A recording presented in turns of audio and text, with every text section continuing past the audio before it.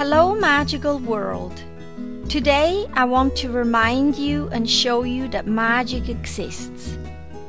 It exists in everything and everyone around you, and everything that is happening to you.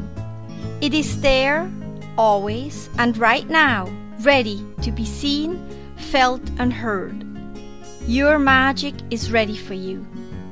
I invite you to become aware of it, look for it, and learn how to create it for you.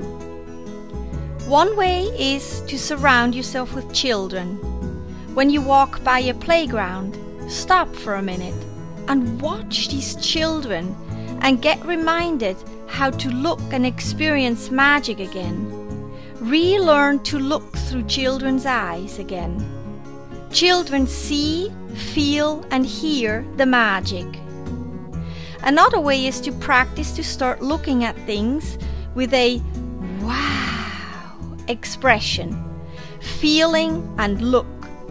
When you walk down the street and you see a bird, say wow and really feel the amazement and magic that creates in you. Practice this with your coffee, with your lunch, looking at yourself in a mirror, and all the other little things that are so normal for us that we don't acknowledge anymore or we don't see anymore, hear or feel anymore.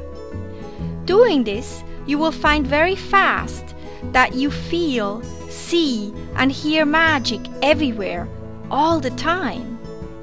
And that way of living, seeing, and feeling, and hearing creates happiness, health, joy, and more magic in you and around you. I see magic everywhere, all the time.